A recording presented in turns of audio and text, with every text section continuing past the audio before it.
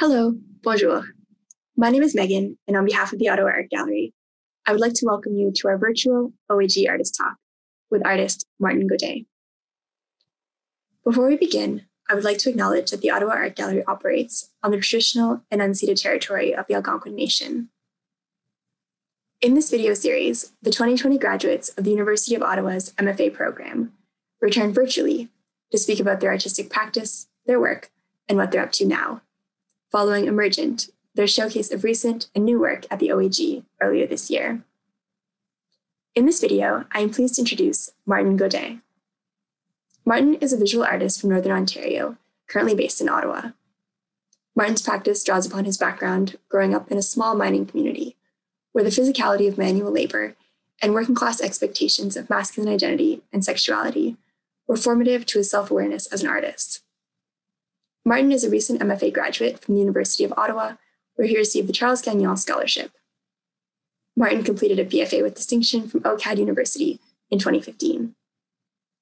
Thank you so much for tuning in, and without further ado, I would like to hand the screen over to Martin. Hello, bonjour. My name is Martin Godin. I am an artist currently based in Ottawa, Ontario, Canada, where I'm recording this on the unceded territory of the Algonquin Anishinaabe Nation. Welcome to my virtual artist talk and studio visit. I'm originally from a small francophone mining community in Northern Ontario near Sudbury, in the Robinson Huron Treaty Territory, the traditional land of the Atikameksheng Anishinaabeg. As a first generation student, I completed a BFA with distinction in drawing and painting at OCAD University in Toronto in 2015. I then completed a Master's of Fine Arts, une maîtrise en art visuel at the University of Ottawa in 2020, where I was the grateful recipient of the Charles Gagnon Scholarship. I was drawn to study at the University of Ottawa due to its unique bilingual studio based program. I want to thank the Ottawa Art Gallery for the opportunity to exhibit my thesis work Pay Dirt earlier this year as part of the exhibition Emergent, Emergence, and for providing a platform.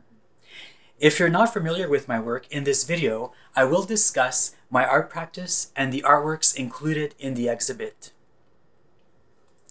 My MFA thesis work, Pay Dirt, Bonne is a series of paintings that reflect my ongoing research into the use of slag rock as an artistic medium to explore the connections between painting and our rapidly changing world. Slag rock is the mining byproduct that is disposed of once valuable ores and metals have been extracted in a mining process called smelting. The term pay dirt in the field of mining refers to the discovery of valuable ores after digging through the rock, muck, and lesser minerals. To me, pay dirt is the insight that comes with distance and time, a sort of mining of the self. Pay dirt seeks to express how we overcome imposed structures the sedimentary layers and sequestered caverns of our inner selves that shape, contain, and eventually constrain us over time, demanding self reinvention. Through my work, I reflect upon continuity and change, the oscillation between cultural ferment and watershed, and the formation of community and identity. Having grown up as a gay youth during the 1970s and 1980s in a small mining community, the physicality of manual labor and working class expectations of masculinity were formative to my self awareness as an artist. By the time I graduated high school in the early 1990s, I had decided that I did not want to follow in the footsteps of most of my family members by working in the mines. I wanted to be an artist. I wanted to leave the small town, move to the big city, and find community as a gay youth, and eventually seek out my vo- artistic vocation. The solitude of this period of my life nourished the inspiration that would eventually inform my artistic practice. It was during this time that I first began to collect found objects, particularly rocks with unique shapes, colors, and intriguing mimetoliths. A mimetolith is a rock or mineral specimen that resembles something else, such as an animal, object, or body part. The more odd they were, the more they appealed to me, and I would take etchings and rubbings of those too large to bring home. My father took note of my interest and would occasionally bring home uniquely shaped rocks, including samples of nickel ore, copper, igneous, and slag rock, as you can see here. Before long, my room was full of them. My experience was typical for a gay youth in the 1980s. At that time, being gay was taboo, and open hatred and harassment of gay people was tolerated, stoked by the sudden rise of the AIDS crisis and the panic it engendered. Information about AIDS filtered out into society so slowly, and, and ignorance and prejudice filled the gap. Like many gay youth, I was far from the cosmopolitan urban centers I would later seek out. But I was very self aware, and I had inwardly accepted my difference and the imperative of concealing it. Looking back, I now wonder how my child self was able to decipher what was happening and accept it, while also being fully cognizant of the self preserving need for camouflage and to keep it to myself. The closet simultaneously arose from within and was imposed from without, and art making became a natural outlet for me. At this time in my youth, the Much Music channel introduced me to culture, music, Jeanne Beker's fashion television, and artists like Andy Warhol, Keith Haring, The Art Collective General Idea, Madonna, and Maestro Fresh Wes. It provided me a window onto a larger world at a time long before the internet, YouTube personalities, reality television, and downloadable a la carte culture consumption. It showed me there were much more to discover beyond my small town, and that there were other ways of behaving, connecting, finding community, and looking at things. This period exuded a sense of community, the artist and the street in synchronicity, visual art simpatico with synthesized beatbox music and freestyle breakdance. For a youth like me, it generated a great sense of anticipation for the wider cultural world and community I long to become part of. My studio practice is a place of solitary action and contemplation. I am drawn to the use of extracted materials in art and enjoy studying the historical origins of painting and the process of preparing materials from pigment to canvas rooted in the traditions that predate the Renaissance. When I say that I use unconventional materials, this is what I'm talking about. This here is slag, a slag rock sample. En français, on l'appelle de la roche slag ou scorie. In the mining process, molten slag rock is disposed of in open pits called slag dumps, where it then hardens back into solid rock, covering the landscape like dead bones. My process begins with field study research, observation, gathering samples as found objects that are then documented. By pulverizing and refining slag rock into pigment, I resurrect these discarded bones and imbue them with purpose in my work. What was forgotten and disposed of is given new form on the canvas by mixing them with traditional painting media made from scratch, building, stretching, grinding, mixing, and painting. I think that metaphorically, the recombination of the materials reenact the mining process, excavating memory and identity to rediscover the internal self in constant formation, destruction, and recreation. So, in a sense, slag rock is the protagonist of this series of artworks and of my practice. As you can see in this work, Panyemu, it is pulverized slag rock on raw linen that has been seized and primed, roche-slag et sur lin. This work is intended to be the first work you see in the exhibition. It was originally intended as a maquette for a larger painting, but I was happy with the intimate details and decided to display it as an amuse-bouche, as Canadian artist Beth Stewart would say, intended for viewers to get a closer look at the minimalist representation and get a sense of the gritty, natural essence of the materials. The interaction and alchemy of these materials is complex, with significant and sometimes unexpected variations. The materials need the proper time to realize their full effects, especially when applying thin layers of glazes or a thick amount of raw slag onto the canvas. The materials can become murky when combined with traditional oils or wax. It sort of has a mood of its own. These studio recipes and processes need careful consideration, and each layer needs the time to breathe. I do believe that you have to be in the right mindset. It's like the materials absorb the energy and attention you bring into them.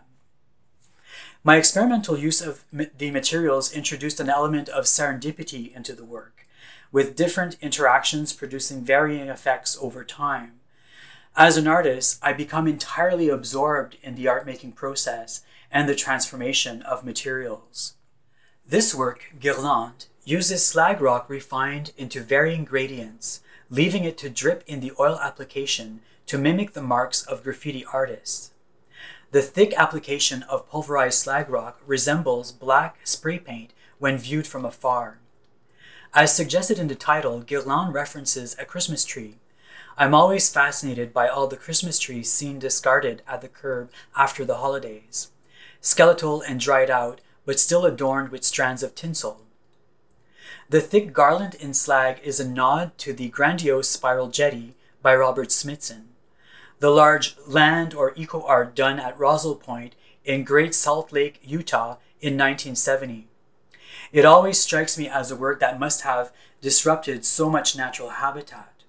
Ironically, the work is near oil drilling sites and was the location where many artists protested in oppositions of the drilling plans in 2008. Guirlande is a queer response to the land being extracted of its natural resources. Many Canadian artists and writers have elaborated on Northern development to develop themes of culture, identity, and climate change through representations of the landscape. This includes Peter Hodgins and Peter Thompson, who examined the extractive gaze in their essay, Taking the Romance Out of Extraction, published in 2011. Canadian painter Charles Comfort's mural, The Romance of Nickel, commissioned by Inco Limited to celebrate industry, was originally painted for the Canadian Pavilion at the 1937 International Exhibition in Paris, the same exhibit that featured Picasso's Guernica. However, in contrast, Comfort's uncommissioned paintings depict a more bleak and somber landscape, making a more critical statement about industry and the environment, as seen in his painting Smelter Stacks Coppercliff, done in 1936 and currently on display at the National Gallery of Canada. Guirlande also alludes to a snake shedding its skin in a molting state of metamorphosis. When I collect samples during field studies, I often have to carefully avoid snakes as they sun themselves among the rocks, where I often see their shedded skins. I'm also often reminded of David Wojnarowicz's Face in Dirt from 1991, a self portrait of the artist immersed in dirt and rock with only his face revealed, eliciting a sense of submergence, drowning, and breaching the surface for air, as well as a reflection on life, death, and family. When I was young, my first introduction to art was at our local church. To my child's eyes, it was like entering a gallery or a museum with wall to wall images, sculptures, and icons of saints and martyrs. This captivated me instantly. The art in the church featured male bodies, sometimes languid, sometimes straining and riven, their faces at once raptured, tortured, and contemplative. This showed me a layer of perception far removed from the everyday life in a northern Canadian mining town. This insight did not lead me into further detachment, Rather, I began to recognize this new layer all around me.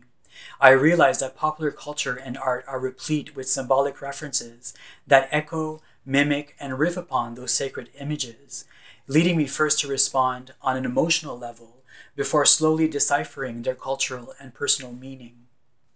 I wanted to capture that sensation in my painting of Aporia. My intent was to place a figurative representation devoid of a background or landscape left only with the slag rock pigment drips in oil to provide a chiaroscuro smoke and mirror atmosphere. I knew I would be installing this work among abstract paintings of landscapes, so I wanted to generate a contrast between the figurative painting and the abstract works. The inspiration behind the title Aporia comes from Jean Paul Ricco's 2014 book, The Decision Between Us. He remarks on aporia as a feature of time, space, and intimacy, using it to describe those in between moments when decisions are made. Aporia measures the time and distance between thought and action, contemplation and decision, doubt, and confidence. The time spent revisiting those inner sedimentary layers that hold so many truths.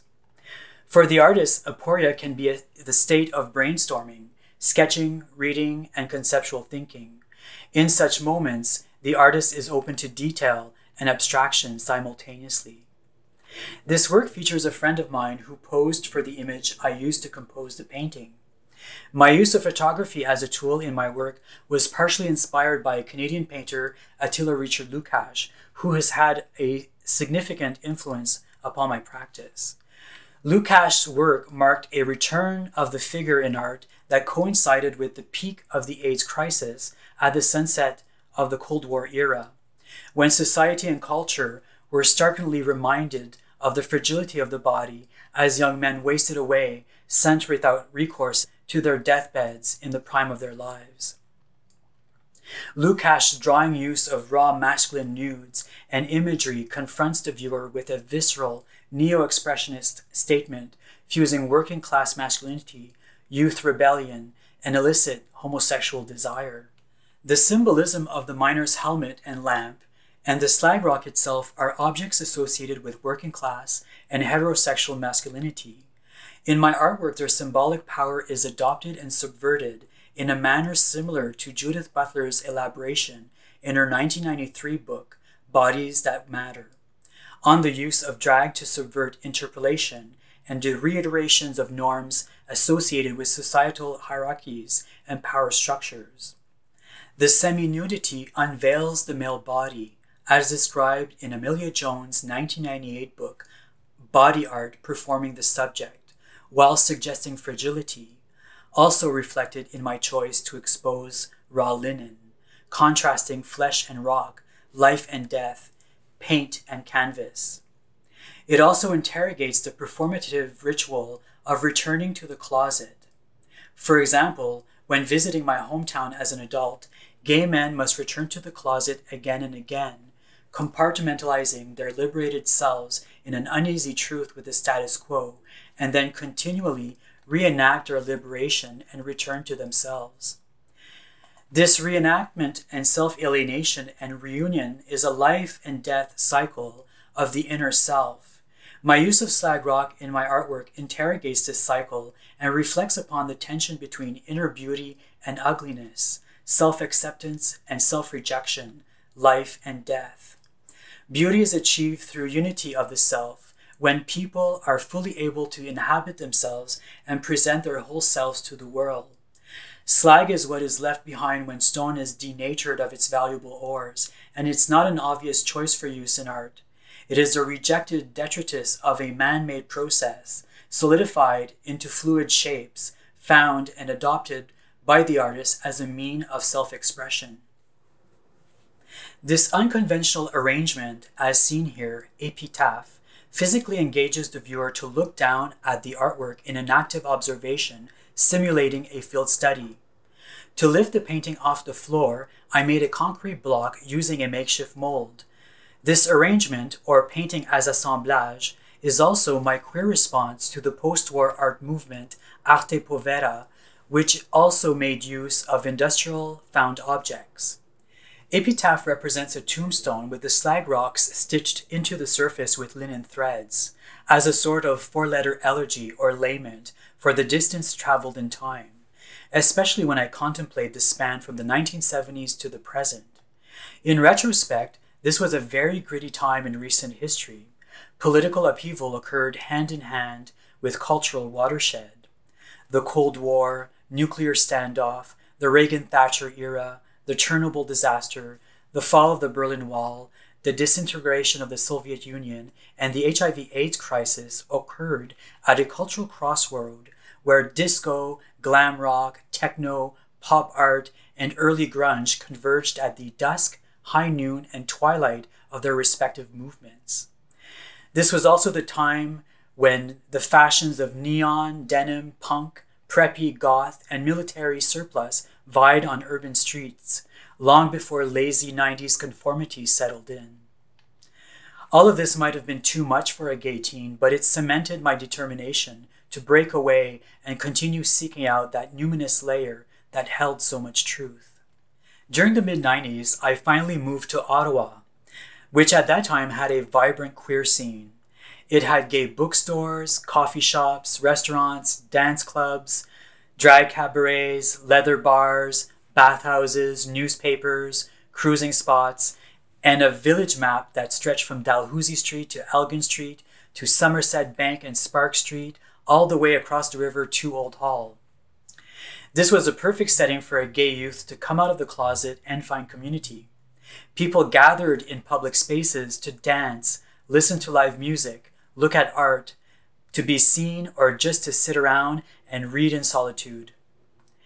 I often found myself at the market station in the Byward Market courtyard, sitting among older patrons, and listened to their stories of lost friends and acquaintances, including stories of eviction, disownment, and squalid lonely endings. The cultural impact of the HIV AIDS crisis has yet to be fully appraised, and it was a looming preoccupation of the era. My painting Bolide represents a bright fireball that explodes in the sky and pierces the atmosphere. A large meteorite struck the Sudbury region in the Precambrian era, pushing all of the natural resources to the side of the impact crater forming a massive ring where all of the mines are located today.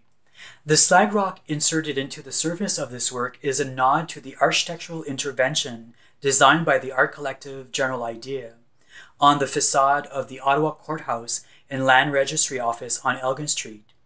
Their work, titled The Canadian Shield, done in 1986, features giant rocks piercing through the walls of the building.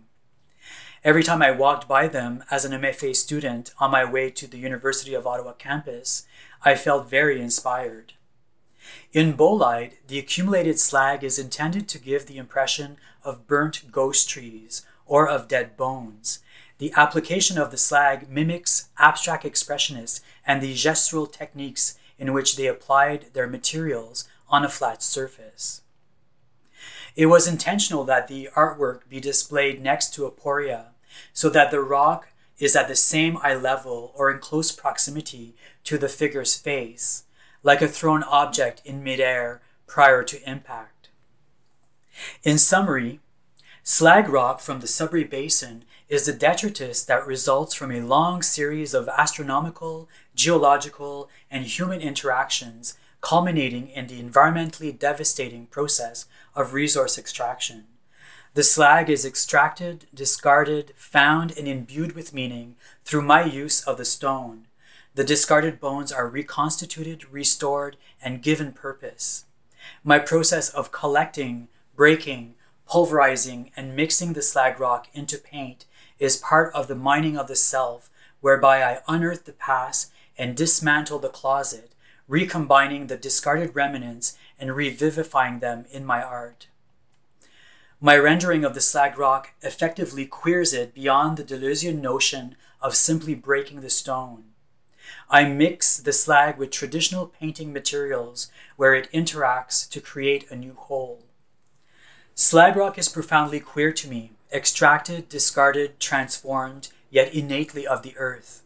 I seek to mine the sediment and stone, excavating memory to recombine the raw materials of the self in pursuit of resolution.